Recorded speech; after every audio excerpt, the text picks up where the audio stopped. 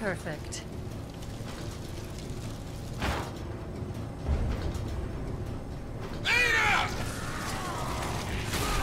Back for more?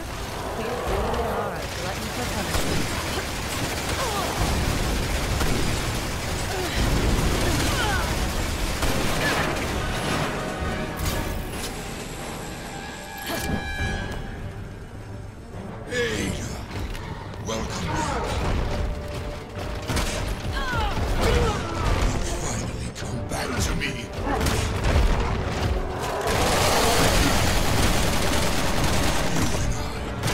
Destined to be together.